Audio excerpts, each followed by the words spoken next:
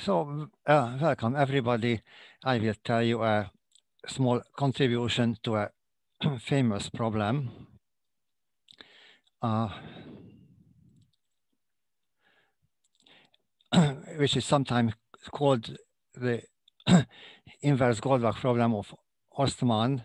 At least this is how uh, Christian Elsholtz calls it. I don't know whether it is his invention or not. So uh, this is about representing the set of primes as a sum set. It is easy to see that the complete set of prime cannot be a sum set in any non-trivial way, but maybe if we uh, add or delete a few, then we can. This is still unsolved. Everybody expects a negative answer, including me. But it's known that if such a decomposition existed, then both A and B should have about square root x element up to x, which is achieved by uh, some version of large sieve and also Elsholtz has an explanation why we cannot hope a complete solution in this way. Now, what I'm going to tell you is that the situation uh, changes if we allow, allow negative primes. So this is the following. We will assume a hypothesis which is uh, expected to be true and soon I will uh, remind you what it is. So if we assume the prime tuple hypothesis, then there are infinite sets A and B such that the sum set is the set of positive and negative primes, including plus minus two and excluding plus minus two and plus minus three. It is easy to say that they must be excluded. And I will uh, tell you a proof of a slightly weaker version when we exclude a finite number of primes. Uh, just not to, I don't want to tell about the extra trouble we have to take to include the small primes. And also, instead of sum set, I will use a different set. Of course, we can change b into minus b, which will make for a somewhat more comfortable notation. So uh, this is the result I will whose proof I will tell you, assuming the prime number hypothesis, there are infinite sets of positive integers such that the differences are, all differences are primes and only a finite number of primes is missing. Now the prime tuple hypothesis means that in a, any conf linear configuration, you will find primes unless there is a congruence reason to exclude it. So if we have a finite collection of uh, linear forms, ai times x plus bi, then we can then find an infinity of values of x such that they are all primes, except if there is a fixed prime p with the property that for all x, uh, one of those forms must be a multiple of P. now the simplest and still unsolved case is the twin prime conjecture. Nobody doubts that this conjecture should be true. Uh, I will use a corollary written in a somewhat different forms. We want to prime find numbers x in a given congruence class modulo some number q such that a finite number of translates are all primes. And the condition is the following. For divisors of q, uh, the zero class modulo P should be missing, and for primes not dividing Q, at least some residue class should be missing.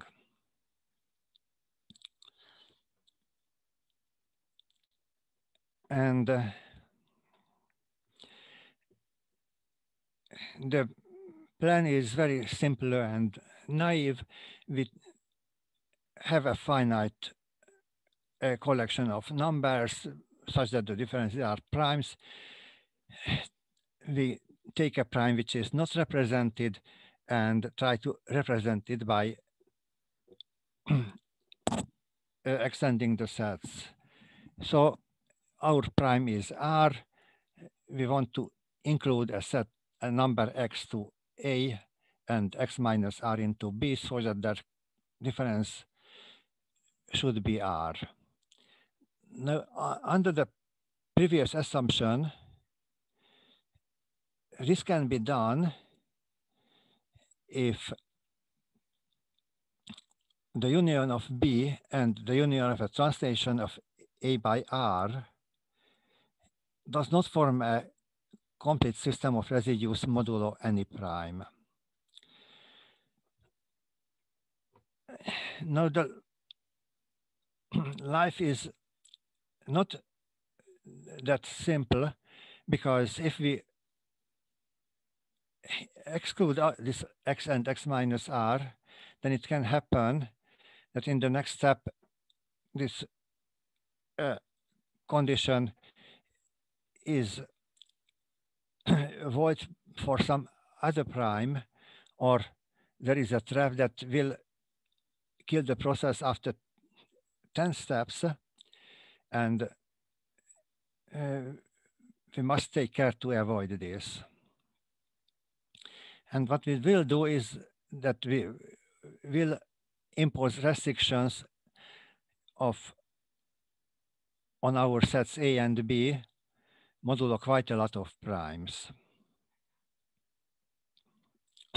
now we cannot uh, fix them in infinite for infinitely many primes at the starts because then there may be no integer that satisfies all those conditions. What we will do is that we import some initial conditions and then as we proceed, we invent new and new conditions while keeping all the numbers which are already in our set. So we list all the primes we want to represent, that is all the signed primes in a sequence with increasing order of absolute value. And uh, our plan is to find sequences A1, A2, and B1, B2 such that a sub i minus B sub i is exactly the r i prime r sub i. so what in step n, we will have the first n elements in each set A and B. That is, we are representing the first n primes. And we will have also a set of restrictions u sub p, v sub p of residues modulo p for every primes, which is less than the next, than the first prime not yet represented. So that uh, all residues of A are in U sub P or residues of V are V sub P. And here is the condition we need that uh, the elements of U which are not in V and the elements of V which are not in U should have the property that their differences contain every non-zero residue modulo P. so in the first step, we take R1, the first prime to be represented, we put it into A, we put a zero into B, and for the first, and the first, and the primes for up to K, you know, we will represent primes bigger than K, so the assumption that P is less than the uh, next R is exactly the, the same that P is at most K. We put every non-zero residue into U sub B and only the zero in U. In my screen, somehow there is a mysterious pink line, which I don't know how got there.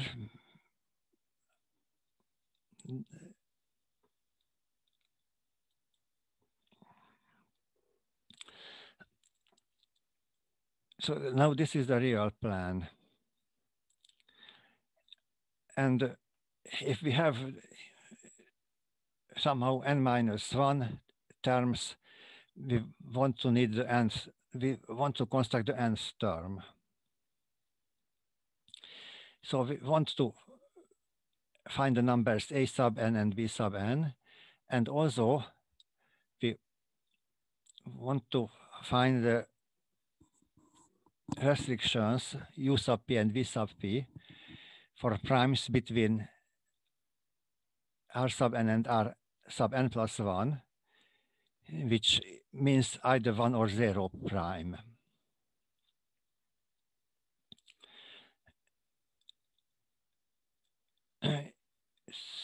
So we want to put some x into A and x minus r sub n into B. And uh, so this represents R sub 1, and all the other new differences should also be primes. X, the new x minus the old b, and x minus r sub n minus the old a. They all must be primes. So first, uh, we try to find residues of x modulo the small primes. And here is the assumption on the previous slide comes into the picture. Since R sub n is not zero modulo p, uh, there are elements, an element of u missing from v and an element v of missing from u whose difference is r sub n. And we impose this condition on x. And we will see why this is useful.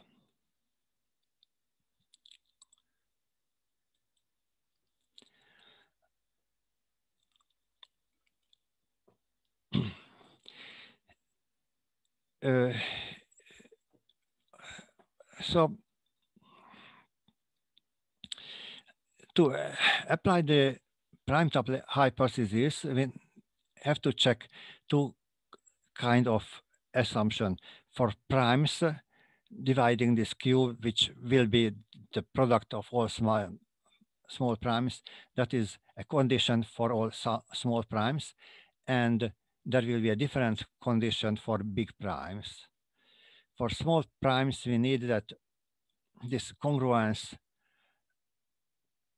uh, does not spoil the possibility of the numbers being a prime. That is, the condition does not turn any of the difference into zero modulo p. And uh, here is how this condition is used. U small u sub p is in is not in v sub p, but the b's are in v sub p. That's the way we constructed them before and exactly the same argument with different letters from for the other number. now, for big primes, we don't have a condition. We need that the numbers that we want to turn into primes do not form a complete system of residues. Now the number of primes, the number of elements which should not form a complete system of residues is 2n minus 2. They are the previous A and previous B translated by something. So this is 2n minus 2 number, and they cannot form a complete system of residues modulo any prime which is bigger than that. so uh, we will need that the next absolute value of the next prime r sub n, which um, is the dividing line between small and big primes, is at least 2n minus 2. Uh, soon we will need a bigger bound.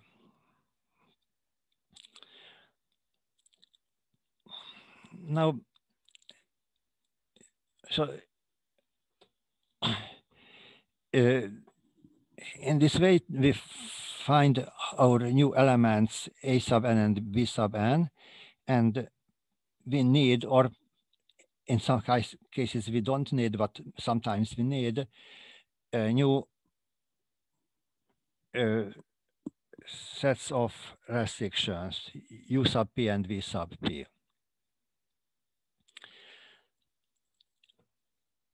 And uh, here comes the only small trick in my proof.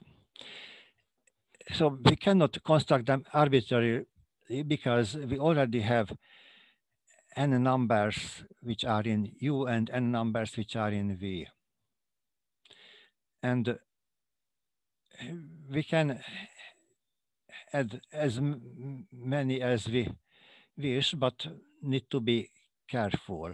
So there are two n residues which are already disposed of, and there are p minus 2n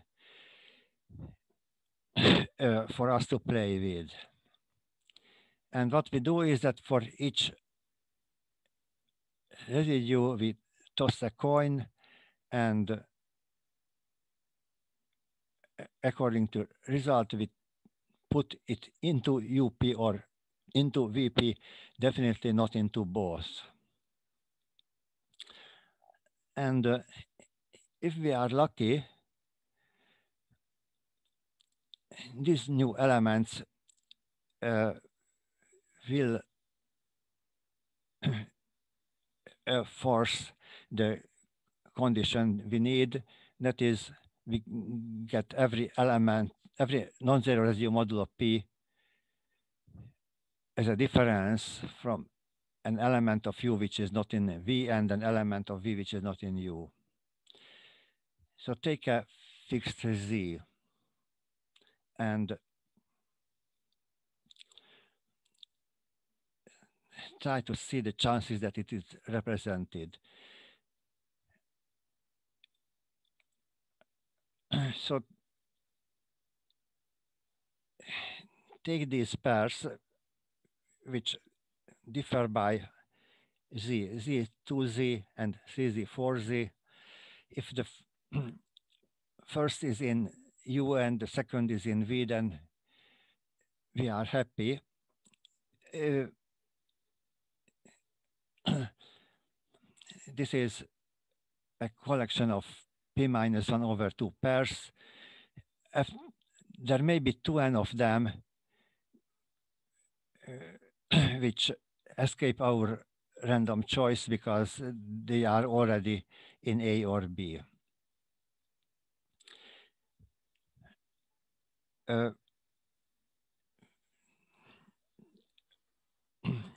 we did not list all possible pairs which whose difference is z. So from z to z, we jumped into 3z, 4z and missed the pair 2z, 3z. This is to make those events independent. So if we have a pair like that whose difference is z, then if the first element comes into u, whose probability is a half, and the second comes into v, whose probability is also a half, then there is a quarter probability that we get z as a difference. there is three-fourths probability that it is uh, does not represent z. And so the probability that uh, none of those pairs gives us the desired the difference z is three-fourths to the number of pairs to p minus 1 over 2 minus 2 twice n.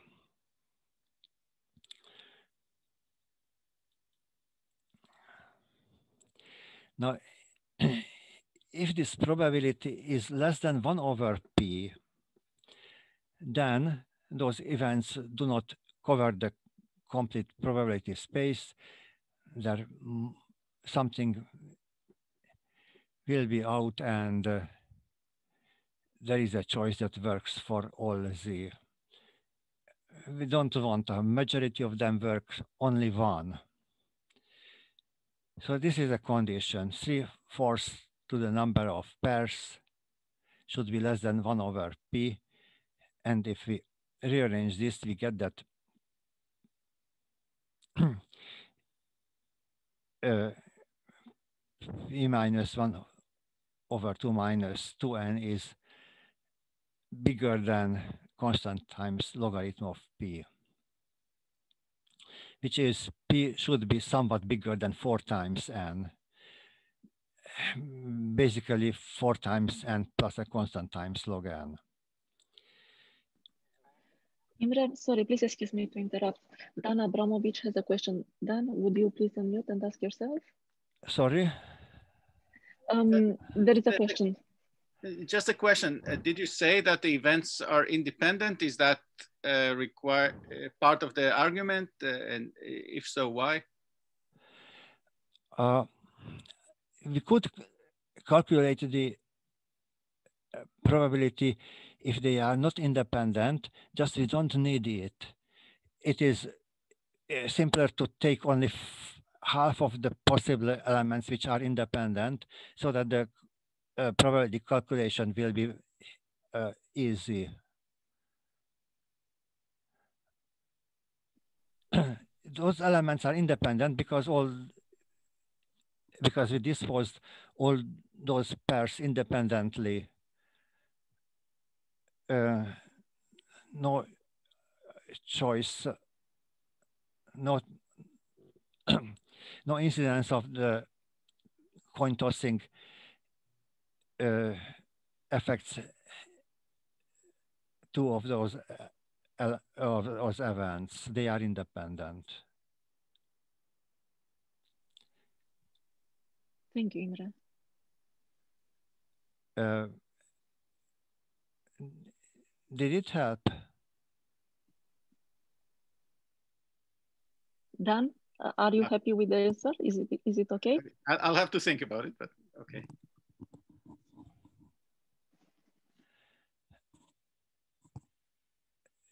Uh, so maybe I can continue. Yes, please continue, Imre.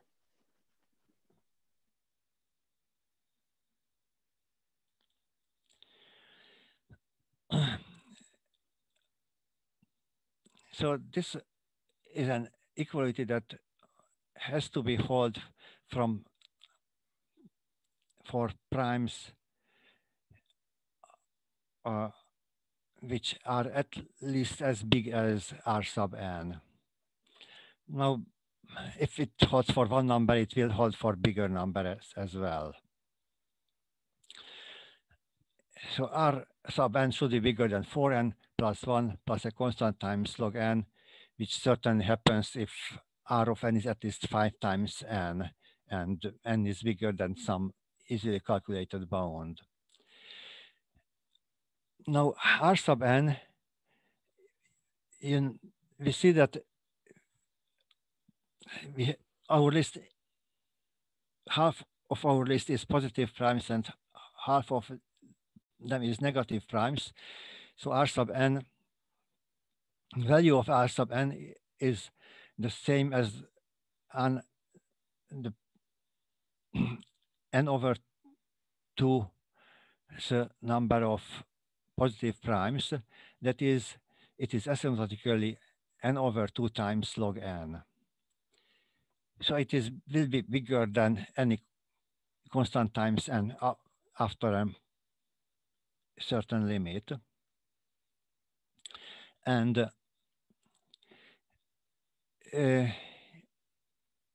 we choose the bound k so that it holds for numbers up to this limit and, uh, and this ends the proof.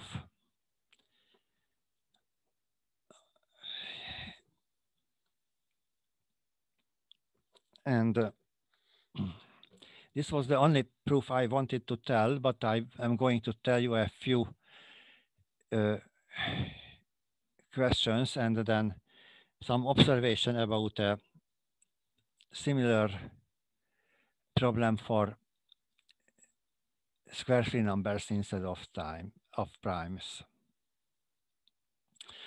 So the first problem is that the set of signed primes is a triple sum set.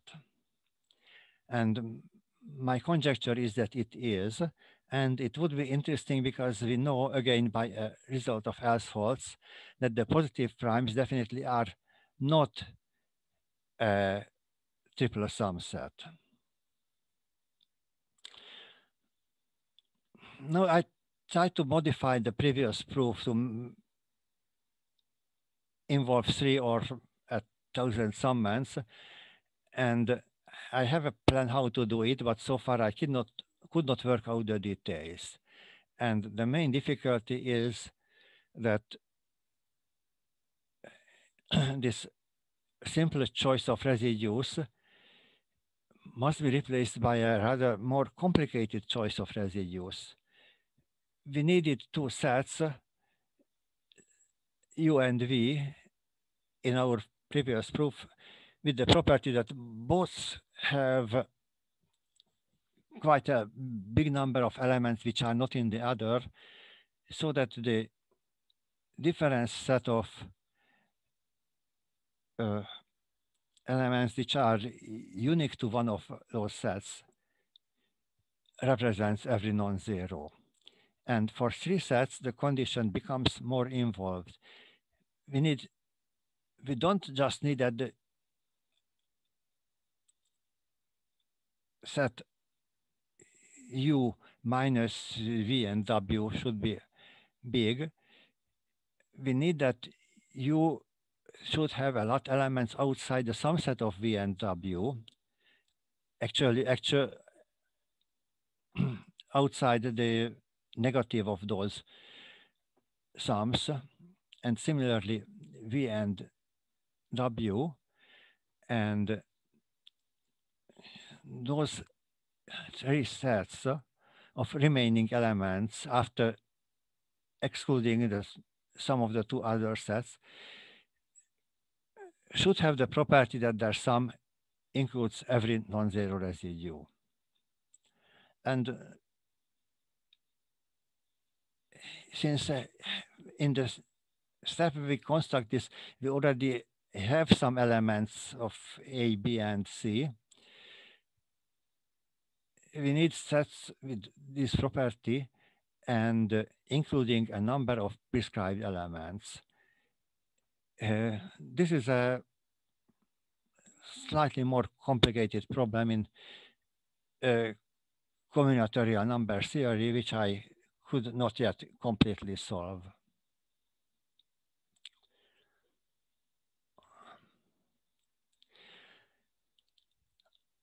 Now, here are two not closely related problems which are fun, I guess. One is to prove without using any unsolved hypothesis the existence of two sets A and B such that no element of A plus B is divisible by any prime congruent to one modulo four. And uh, in this that if we want to residue exclude the residue class three modulo four, then we have an easy example, namely the set of sum of two squares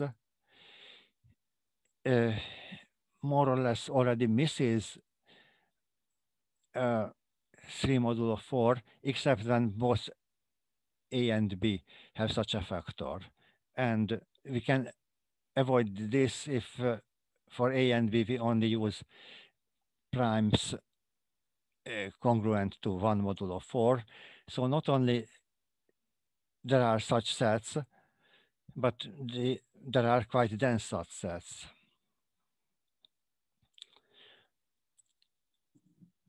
Uh, and um, I think this observation is also due to Elsholtz. Definitely it is mentioned in one of his papers. Uh, similarly, the other uh, problem is more or less due to him. The question is that the, the set of sums of two squares, which is a sum set by definition, is a triple subset or not.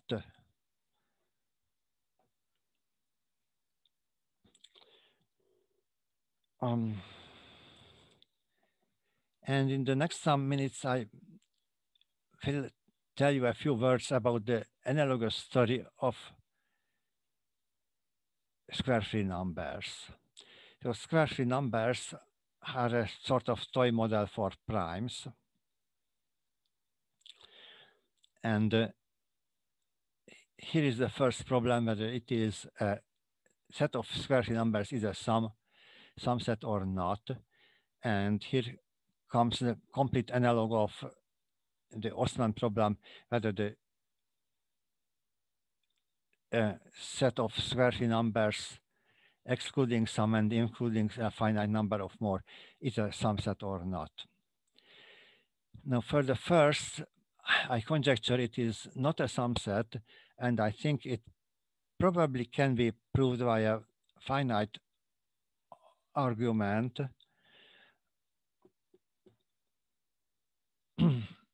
so uh, I have established some properties of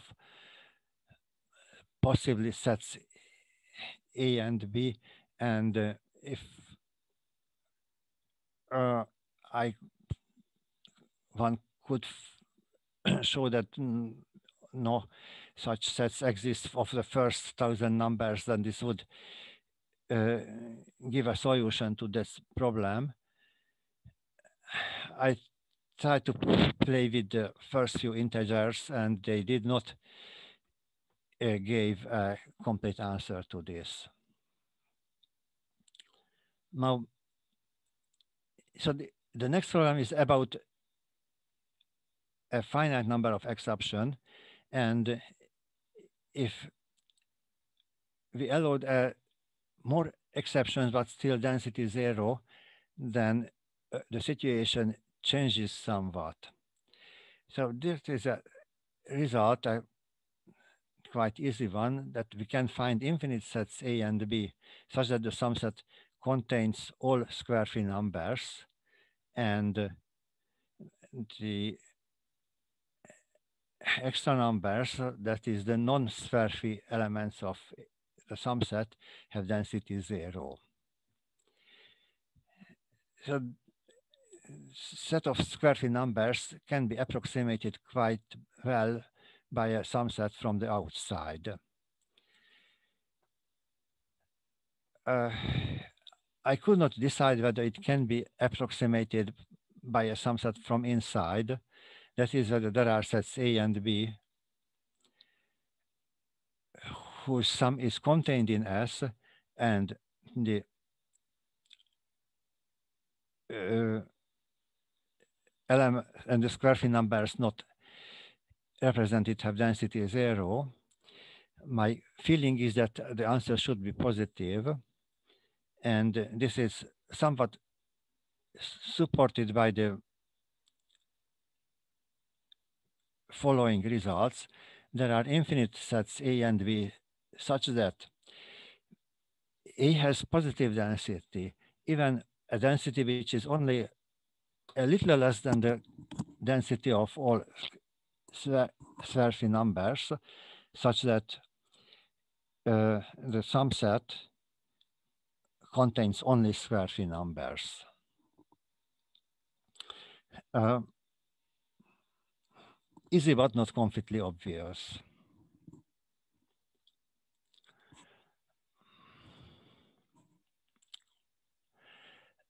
Uh, so this is about positive square free numbers.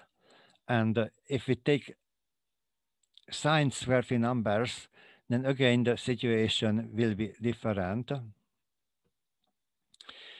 Because for this set, positive and negative square free numbers, I can positively uh, solve the possibility of representation by a sum set.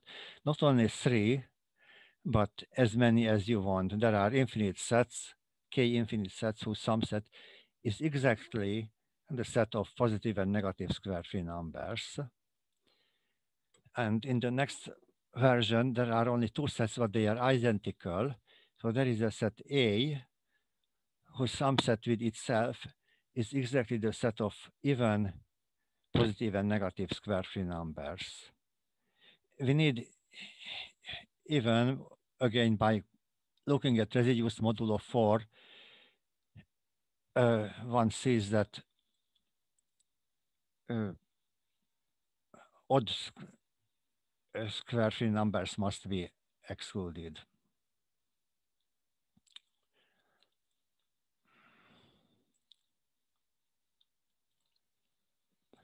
And the reason why the square free phase is easy is twofold. The first is that we don't need any unsolved hypothesis. So instead of the prime tuple hypothesis, we have the square free tuple theorem. If we have a finite collection of linear forms, then there is a value of x for which all are square free, except if there is a divisibility reason to exclude it.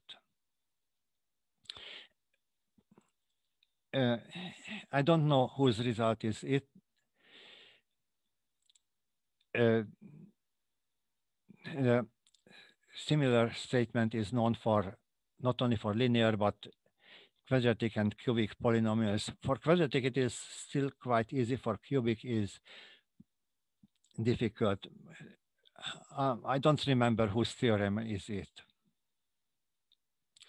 And the second reason is that to get square free numbers, we omit all multiples of prime squares, while for primes,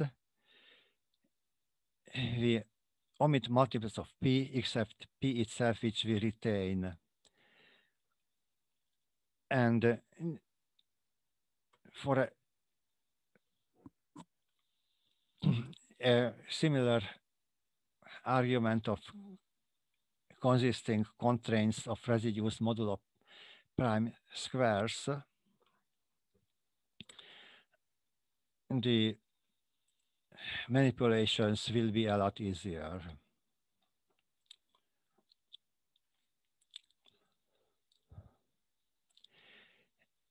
And uh, so this is all I wanted to tell. Thanks for the attention. If and uh, now I'm here to listen quest to questions, or you can write questions and comments to my email address.